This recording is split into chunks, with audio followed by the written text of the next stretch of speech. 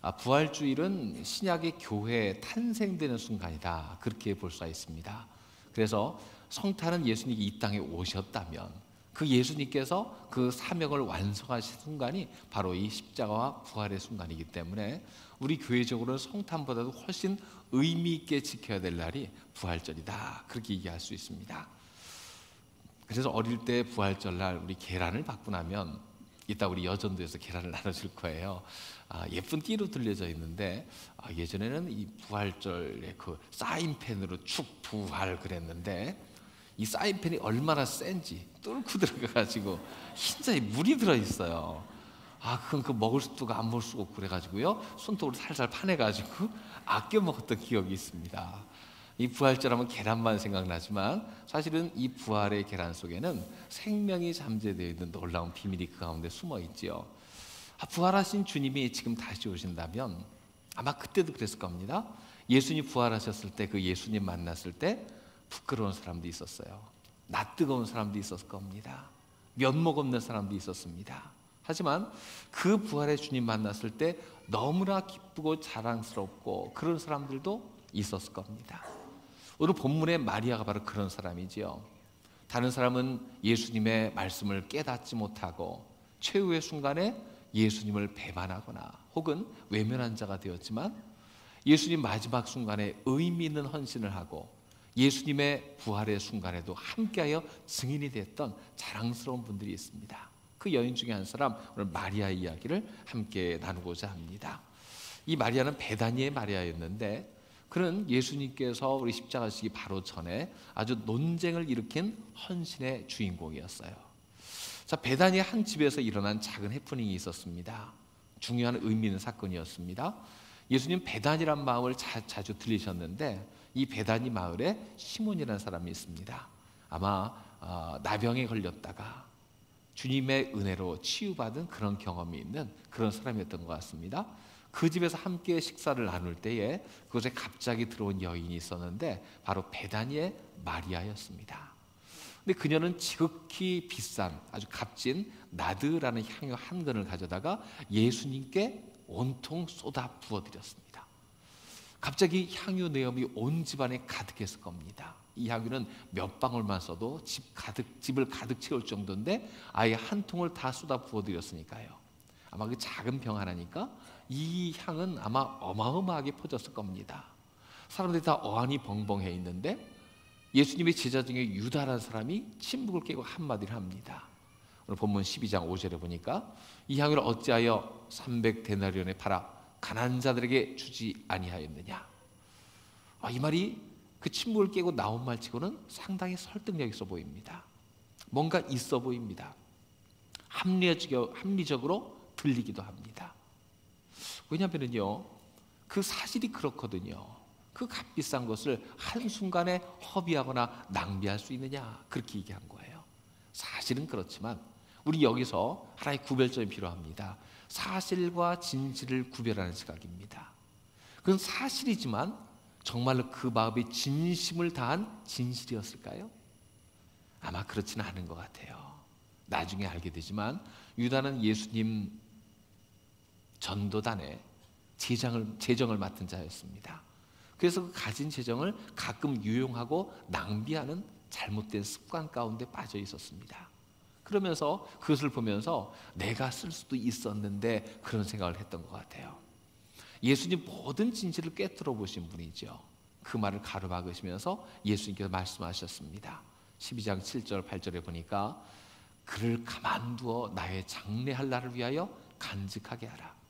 가난한 자들은 항상 너희와 함께 있거니와 나는 항상 있지 아니하리라 말씀하고 있습니다.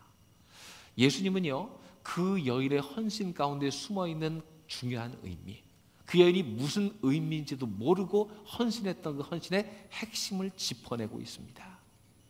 구제는 평생 할 수 있지 않느냐? 하지만 주님 앞에 헌신할 때 이때 아니면 할 수 없는 그 헌신을 그녀가 했다는 것입니다. 자, 우리도 가끔 그럴 때가 있어요. 우리 마음속에 하나님께서 감동을 주실 때가 있어요. 지금 내가 이걸 해야 되는데 나에게만 주신 감동이 있을 때가 있습니다. 아이 저 사람이 해도 되고 좀 부유한 사람이 해도 되고 능력 있는 사람이 해도 되는데 왜 나에게 이럴 때가 있습니다. 그럼 그때는요 마음이 심령이 감동이 가는 대로 움직이기 좋습니다. 마리아가 그랬을 거예요. 수많은 사람이 죽게 헌신하려고 준비하고 있는데 왜 이 시간 나에게 이 마음을 이 충동을 나에게 주셨을까? 그럴 때는 하나님께서 마음에 주시는 음성대로 하는 게 좋습니다. 그녀가 그랬던 거예요. 기쁘게 헌신했는데 당장 들은 말은 무엇입니까? 가룟유다의 꾸중하는 말이었어요. 명백한 낭비다 하고 그녀를 비난합니다. 계산도 빠릅니다. 외국에서 수입한 나드 이 한 근의 가격은 300데나리온 정도인데 이 한 데나리온이 노동자의 한 달 월급 정도 되니까요. 1년 연봉을 한 번에 쏟아부어 드린 겁니다. 아, 그러니까 어이없는 낭비처럼 보인 거죠.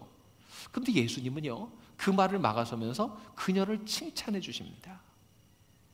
예수님의 장례를 준비한 행동이라고 해석까지 해 주십니다. 다들 삐뚤어 보는데 예수님은요 그녀의 마음을 보시고 그녀가 한 행동의 진심을 보시고 그녀가 한 행동의 의미까지도 해석해 주셨습니다.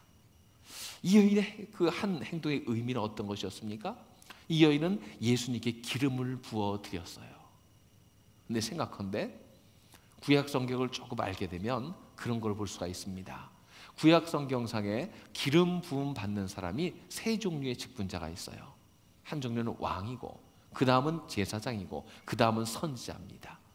근데 이 세 부류의 사람은요 서로 간섭하지 않는 고유의 영역이 있었어요. 그들은 하나님의 특별한 일을 수행하는 사람입니다. 근데 예수님은 이 땅에 오실 때 어떻게 오셨냐면 왕이자 제사장이자 선지자이자 이 세 가지 구약의 중요한 직분을 다 감당하기 위해서 오신 분입니다. 그래서 그리스도란 말 뜻 자체가 기름 부음 받은 사람이란 뜻입니다. 근데 예수님께서 이 땅에서 활동하실 때에 성령의 기름 부음 받아서 활동하셨지만 외적으로 공적으로 누군가 권위 있는 사람이 기름 부어서 임명한 적은 없어요. 그런데 이 여인이 자기도 모르게 그 일을 행한 겁니다. 예수님께 십자가 시전에 그 십자가 지는 의미가 얼마나 중요한 일인가를 그녀의 행동으로 보여준 겁니다. 그녀의 사랑과 그 마음의 감동 때문에 했던 일인데 누군가는 낭비라고 손가락질하는 일인데 예수님은 그 행동이 얼마나 의미 있는 중요한 일인지를 알려주셨습니다. 마가복음 14장 9절에는요 이렇게 얘기하고 있어요. 온 천하에 어디서든지 복음이 전파되는 곳에는 이 여자가 행한 일도 말하여 그를 기억하리라. 그래서 2000년 지난 지금까지도 그 여인의 행한 일이 얼마나 중요한 일인지를 제가 강조하고 있습니다. 우리 가운데서도 정말로 사랑하면 내 것을 낭비하며 허비하게 됩니다. 그것이 은혜와 축복이지요. 가끔 원거리 연애한 사람들 보면요. 잠깐 만나기 위해서 3시간을 갑니다. 잠깐 만나고 3시간을 달려옵니다. 그걸 낭비라고 생각하겠습니까? 허비라고 생각하겠습니까? 아닙니다. 기뻐서 한 일입니다. 우리 주님도 지금 우리가 기쁨으로 우리 마음 다여 드린 헌신을 정말로 받으시고 칭찬해 주시는 분인 줄로 분명히 믿습니다. 주님을 기쁘게 섬김으로 내 삶에 거룩한 헌신이 계속되는 우리 모두가 되기를 주의 이름으로 축원합니다. 그래서 그것은 분명히 낭비라고 얘기할 수 있지만 이름을 달리 부르겠습니다. 거룩한 낭비다 그렇게 부르겠습니다. 마리아의 이 헌신은요 굳이 낭비라면 거룩한 낭비입니다. 열정 있는 사람이 이런 일을 하는 거죠. 우리도 예수를 믿으면서 주 안에서 이런 거룩한 낭비를 늘 실천하며 살아가고 있는 사람들입니다. 한번 생각해 보면 그래요. 오늘도 주님 앞에서 내가 가진 가장 중요한 시간을 들여서 이 자리에 나왔습니다. 우리가 받은 자원 중에서 한정돼 있고 가장 아까운 것이 시간이에요. 지혜롭게 아껴 써야 돼요. 분초를 다투는 것이 우리에게 주어진 중요한 시간의 자원입니다. 근데 이 시간의 중요성을 누구보다 잘 아신 주님께서 만드신 법이 무엇이냐면요. 안식일의 법을 만드셨어요. 그날 예배하고 주님을 기억하게 만드셨어요.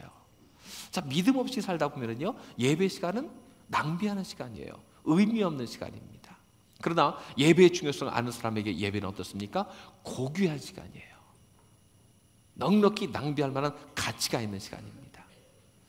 그때 하나님을 찬송하는 것이 얼마나 중요한지를 알기 때문에 그래요. 예배에 전념할 때 하나님께서 임해 주십니다. 앞에서 우리 사장대가 칸타타를 연주할 때에 한 30여 분 동안 연주하면서 아 그 생각을 한번 해보셨습니까? 준비하는 데는 몇 날 며칠 오래 시간이 걸렸습니다. 하지만 이 자리에서 전부 쏟아 붓습니다. 주님을 찬양하며 모든 사람이 마음 마음에 그 메시지를 전합니다. 그것으로 충분합니다. 주님의 살아계신 메시지가 우리 마음속에 심겨졌다면 이 모든 사람의 노력과 열정과 땀이 충분히 전달된 것인 줄로 믿습니다. 오늘 예배를 통해서 거룩한 낭비를 행하는 사람이에요. 고대 사회에서요 유대인들을 갖다 게으르다고 욕하는 사람들이 있었어요. 참 게으른 사람들이다. 왜냐하면 그들을 보니까 아무리 바쁜 일이 있어도 7일의 하루를 쉬는 거예요. 도대체 어떻게 하루를 제쳐두나 그렇게 생각했습니다. 휴일이 없었던 고대 사회에서 선입견이 있었어요. 인생의 7분의 1을 낭비하는 사람들, 게으른 민족. 자기만 놀면 되는데 자기 집에 있는 종도 놀게 하고 짐승도 놀게 하고 참 시간 낭비한다 그렇게 생각을 했어요. 하지만 유대인들이 가난하고 빈곤하게 되었습니까? 시간을 낭비한다던 유대인들이 오히려 가장 잘 살고 똑똑한 사람이 많이 나오고 세계를 지배하는 사람이 많이 나왔습니다. 왜 그렇습니까? 그것이 하나님의 지혜이기 때문에 그래요. 하나님 앞에 시간을 드릴 때 하나님은 나머지 시간을 질적으로 더하여서 그들에게 돌려준 줄로 믿습니다. 요한복음 4장 23, 24절에 이렇게 나옵니다. 같이 한번 읽어봅니다. 아버지께 참되게 예배하는 자들은 영과 진리로 예배할 때가 오나니 곧 이때라. 아버지께서는 자기에게 이렇게 예배하는 자들을 찾으시느니라. 하나님은 영이시니 예배하는 자가 영과 진리로 예배할지니라. 여러분 하나님 앞에 내 시간을 들여서 거룩한 예배 시간을 구별하는 우리 모두가 되길 주의 이름으로 축원합니다. 또 본문의 마리아를 비난하는 이유는 무엇입니까? 그가 돈을 낭비했다는 거예요. 아니 1년치 연봉을 한 번에 날리는 게 어디 있느냐? 그렇게 생각했을 거예요. 그러나 그것은 주님께 드려진 겁니다. 주님께서 기뻐 받으셨습니다. 비교해 보면 유대인들의 제사가 다 이런 것들이에요. 하나님 앞 제물을 드립니다. 값비싼 소도 양도 잡아가지고요 모두를 번제로 불살라 드립니다. 참 큰 낭비처럼 여겨요. 하지만 무엇입니까? 신실한 그리스도에게는요 그것이 너무나 당연한 거예요. 하나님께 나의 것 드리는 것이 당연하지 않느냐. 우리가 11조를 실천합니다. 10분의 1을 드린다고 했을 때, 야, 어떻게 10분의 1을 드리고 살 수가 있냐? 그런 사람이 있어요. 근데 한번 해보십시오. 저는 11조 드려서 굶어 죽었다는 사람 본 적이 한 번도 없습니다. 하나님께서 도와주시고, 막아주시고, 우리의 삶과 지정을 넉넉히 채워주시는 줄로 믿습니다. 말라기 3장 10절에 12절은 뭐라고 이야기하고 있습니까? 만군의 여호와 이르노라 너희의 온전한 11절을 창고에 들여 나의 집에 양식이 있게 하고 그것으로 나를 시험하여 내가 하늘 문을 열고 너희에게 복을 쌓을 곳이 없도록 붙지 아니하나 보라. 만군의 여호와 이르노라 내가 너희를 위하여 메뚜기를 금하여 너희 토지 수산을 먹어 없애지 못하게 하며 너희 밭에 포도나무 열매가 기한 전에 떨어지지 않게 하리니 너희 땅이 아름다워심으로 모든 이방인들이 너희를 복되다리라 만군의 여호와의 말이니라. 하나님 앞에 구별해 드렸을 때 하나님께서 헛되이 새 나가는 것을 막아 주실 줄로 믿습니다. 우리의 재정이 규모 있게 될 줄로 분명히 믿습니다. 아 그래서 하나님 앞에 들여 시험해 보라. 그렇게 이야기하고 있어요. 혹시 이런 실천을 못 하신 분 있다면 한번 주님 앞에 시험해 보시길 주의 이름으로 축원합니다. 저는 우리 원교인이 온전한 11조를 드리는 그런 복 있는 사람들이 되기를 원합니다. 하나님께서는 분명히 말씀하셨어요. 이렇게 하나님 앞에 자기 것을 드리는 사람 그의 전체를 드린 것으로 간주한다고 약속하셨습니다. 오늘 유다는요 이 비밀을 모르고 있었어요. 그는 오히려 주님의 것을 도적질하고 있었습니다. 에베소 4장 28절에 보면은요. 도둑질하는 자는 다시 도둑질하지 말고 돌이켜 가난한 자에게 구제할 수 있도록 자기 손을 수고하여 선한 일을 하라. 그는 남을 비난할 것이 아니라 자기 손으로 수고하여 선한 일을 하면 됩니다. 누군가 헌신하고 드리는 것을 비난하고 다른 이야기 할 것이 전혀 없습니다. 자기 손으로 일해서 수고하고 헌신하면 됩니다. 다른 사람 바랄 거 바랄 거 없습니다. 그리스도의 삶을 어떤 저자는 도둑과 비교해서 그렇게 얘기했어요. 완전 상반된 경우인데 도둑은 어떤 사람입니까? 남의 노동으로 생겨난 가치를 가져다가 자기를 위해 쓰는 사람이 도둑입니다. 그럼 그리스도는 어떤 사람입니까? 자신의 노동으로 생겨난 가치를 가져다가 남을 위해 쓰는 사람입니다. 완전히 반대의 경우이죠. 우리 웨슬리의 말처럼 최대한 열심히 벌고 열심히 저축하되 가능한 많이 나눠줄 수 있는 그런 분들 되길 주의 이름으로 축원합니다. 예수님은요 우리를 위해서 어느 정도까지 낭비 허비를 하신 분입니까? 자신의 가장 소중한 생명을 허비하신 분입니다. 하나밖에 없는 생명, 자기 목숨을 버리면서 우리를 위해서 구원의 일을 행하신 분인 줄로 믿습니다. 가장 소중하신 주님께서 이스라엘의 창조주께서 자기 생명 들여서 우리를 구원해 주셨습니다. 그래서 빌립보서 2장 6절에서 8절은 예수님에 대해서 이렇게 증언합니다. 같이 읽어봅니다. 그는 근본 하나님의 본체시나 하나님과 동등됨을 취할 것으로 여기지 아니하시고 오히려 자기를 비워 종의 형체를 가지사 사람들과 같이 되셨고 사람의 모양으로 나타나사 자기를 낮추시고 죽기까지 복종하셨으니 곧 십자가에 죽으심이라. 예수님이 바로 이런 일을 행하셨습니다. 우리는 이 예수님께서 자기 생명까지 내놓고 구원해 주신 하나님의 소중한 일꾼인 줄로 믿습니다. 그 은혜를 깨달은 사람은 결단합니다. 사도행전 20장 24절 바울의 결단에 나와 있죠. 내가 달려갈 길과 주 예수께 받은 사명 곧 하나님의 은혜의 복음을 증언하는 일을 마치려 하면은 나의 생명조차 조금도 귀한 것으로 여기지 아니하노라. 예수님이 생명 주셨다면 나도 주님 앞에 내 생명을 드려야 되겠다. 이런 결단이 있었습니다. 그렇게 생명 내놓고 결단하고 헌신하는 사람들에 의해서 교회가 세워졌고요. 선교가 이루어지고 있고요. 하나님 나라는 지금도 확장되어 가고 있습니다. 예수님께서 드리신 그 생명 우리도 받았다면 나의 생명도 누군가를 위해서 헌신하여 드리는 우리 모두가 되시기를 주의 이름으로 축원합니다. 그래서 우리의 삶은요 이 부활의 비밀을 깨닫는 사람은 하나님 나라에 투자하는 삶이 되어야 될 줄로 믿습니다. 마리아처럼 사랑, 열정, 헌신으로 드리는 낭비는 허비가 아닙니다. 하나님 나라에 투자하는 것입니다. 하나님 나라에서 우리가 드린 모든 정성 하나님께서 기억하고 갚아 주시는 줄로 믿습니다. 내 시간도 드리고 내 생명도 드리고 내 재물도 드리고 내 생명도 드립니다. 하나님은 기억하십니다. 주님의 약속에 결단코 부도는 없습니다. 다른 사람 몰라도 하나님은 다 알고 계십니다. 하나님의 성품은요, 절대로 누구를 속이거나 속지도 않으시는 분이에요. 저는 가끔 그 생각을 합니다. 우리는 몰라도 하나님은 아신다. 제 특징 중에 하나가 뭐를 보면은 참 잘했다 하지 막 찾아가서 뭐 칭찬하고 인정하고 이런 걸 좀 잘 못해요. 그래서 열심히 헌신하신 분 보면 마음으로 참 기쁘고 귀하다 생각하는데 막 찾아가서 이야기하고 막 광고하고 박수치고 이런 걸 잘 못해요. 못하는 이유 중에 하나가 하나님이 선물 주실 텐데 칭찬해 주실 텐데 내가 괜히 나섰다가 하늘의 상급이 깎이면 어떡하나 저는 쓸데없는 걱정을 참 많이 합니다. 좀 이해를 좀 해주시고요. 저는요 그걸 잊어버릴 수도 있고 망각할 수도 있어요. 하지만 하나님은 결단코 잊지 않는 줄 믿으시길 주의 이름으로 축원합니다. 마태복음 10장 42절에 이런 말씀이 있습니다.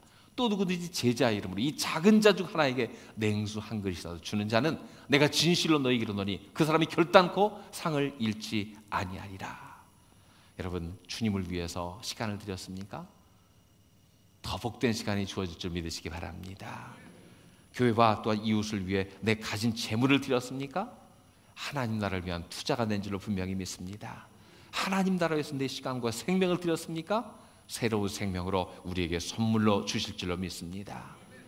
만약 우리는 하나님 나라에 헌신한 것이 만약 숫자로 나타나고 눈에 막 보인다면요, 우리 삶이 어마어마하게 달라질 거예요. 증권에 투자한 사람은 코스피 지수만 맨날 봅니다. 컴퓨터 아래 막 돌아다녀요. 맨날 지켜봅니다. 절대 이런 분이 없기를 바랍니다만 가상화폐에 투자하신 분이 있다면 아주 천당어찌로 왔다 갔다 왔다 갔다 그러고 있습니다. 왜냐하면 그게 눈에 보이거든요.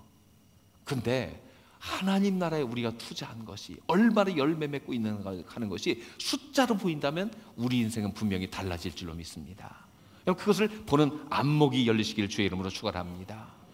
하나님 앞에 드리는 것이 얼마나 주님이 기쁘게 받으시고 그것이 사용되어서 하나님 나라가 역사하는가 하는 것을 보게 되면은요 인생 방향이 달라지고 하나님께서 베푸시는 주의 일에 분명히 인색하지 않을 것이고 삶의 우선순위도 다 바뀔 줄로 믿으시기 바랍니다. 하나님 우리 마음의 중심을 보시죠. 하나님 기뻐하시는 위해 수고하는 사람 하나님은 기억하고 계시는 줄로 믿습니다. 마태복음 6장 20절에 약속합니다. 오직 너희를 위하여 보물을 하늘에 쌓아두라. 거기는 좀이나 동록이 해하지 못하며 도둑이 구멍을 뚫지도 못하고 도둑질도 못하느니라. 자, 오늘 마리아를 생각해 보겠습니다. 예수님 부활하셨을 때 누구보다도 가장 크게 기뻐했을 사람이 바로 마리아였을 겁니다. 그때 내 마음에 당시 나드 한옥합 정도면 어떤 정도냐면 여인이 결혼할 때 혼수로 갖고 하는 지참금을 갖고 하는 가장 소중한 것이 그거예요. 위기를 대비한 최후의 자기의 보물입니다. 왜 그것을 깨어 주님께 드리고 싶은 마음이 생겼을까? 며칠 후에 깨달았습니다. 아, 이때를 위함이구나. 예수님께서 살아계실 때 그분의 장례를 준비하며 정말로 내 것을 드리기를 정말 잘했다. 주님께서 부활하실 때 그 부활하신 주님 만나 뵐 때 그 마음에 아마 기쁨이 충만했을 것입니다. 우리도 그렇습니다. 그녀는 어느 곳에든지 예수님의 장례를 준비해서 최고의 헌신했던 여인으로 기억되고 있는데 우리 삶은 어떻습니까? 우리도 언젠가 그 주님을 만날 겁니다. 부활하신 주님을 다시 만나는 그날이 올 겁니다. 그때 부끄럽지가 않고 주님 내가 할 수 있는 최선을 다했습니다. 주님께서 나에게 말씀하실 때 순종했고요. 내가 지금 주님을 위해서 헌신하는 삶을 살았습니다. 하나님 나라를 위해서 거룩한 낭비를 실천했는데 이 세상에서도 행복했고 주님 만나니 더 행복합니다. 이런 고백이 나올 수 있는 그런 삶을 살아가는 우리 모두가 되시기를 주의 이름으로 축원합니다.